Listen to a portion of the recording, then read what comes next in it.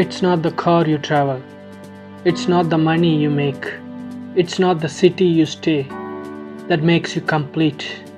It's the places you travel and the memories you take that makes you a complete being. Hey guys, this is Hari Suthan and welcome to my channel for some good travel content.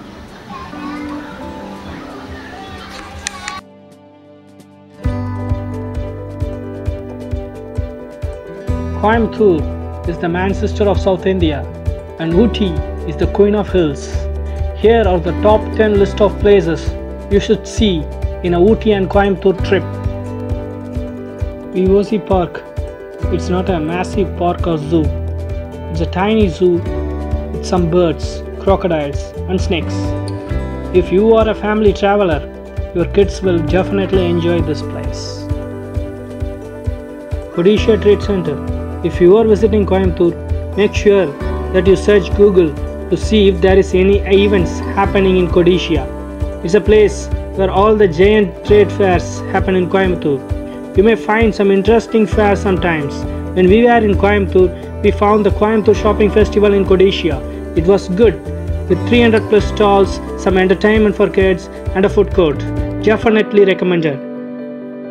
Town Hall, Cross Cut, and R.S. Puram are three shopping districts in Coimbatore. Find street side shops in Town Hall and Gros- Cross Cut Road.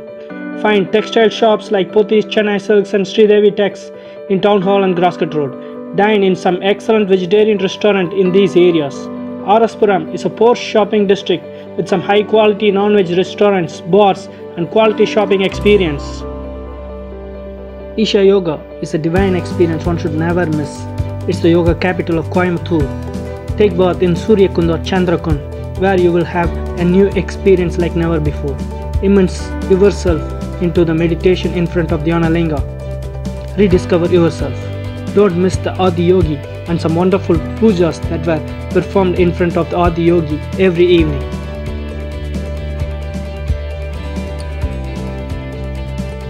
If you find still time in Coimbatore, you can see the Aaliyar Dam, Black Thunder, and Valparai.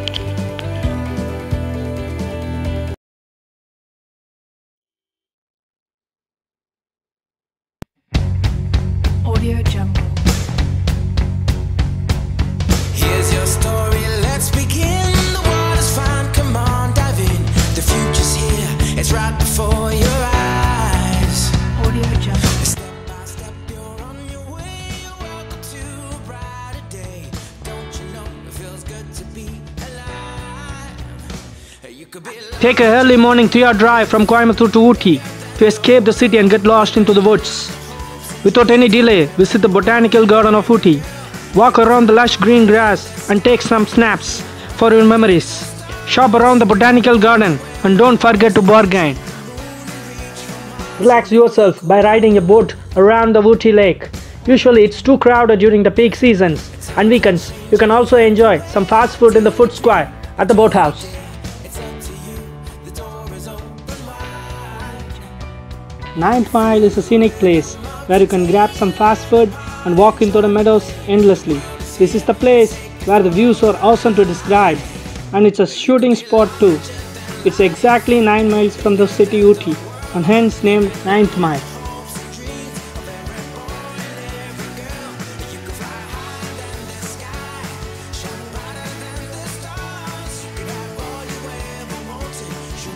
Paikara Falls. You have to walk around 50 steps down to see the spectacular falls. The falls is not so tall, but definitely worth watching. Walk down the steps, grab some photos, and walk up the hill again.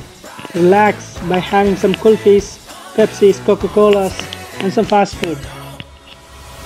Around 2 km from Paikara Falls, you have a boating area where you can pedal around with your family, have some fun, and get back. You can also visit places like the Rose Garden, Tea Museum, Doddabetta, Mudumalai Wildlife Sanctuary. If you still have time in Ooty, visit the Sims Park, Dolphin Nose and golf course in Coonoor. And that concludes our Ooty and Coimbatore trip. Make sure you visit all the places and make sure you subscribe to my channel. Talk to you guys in the next one. Until then, goodbye.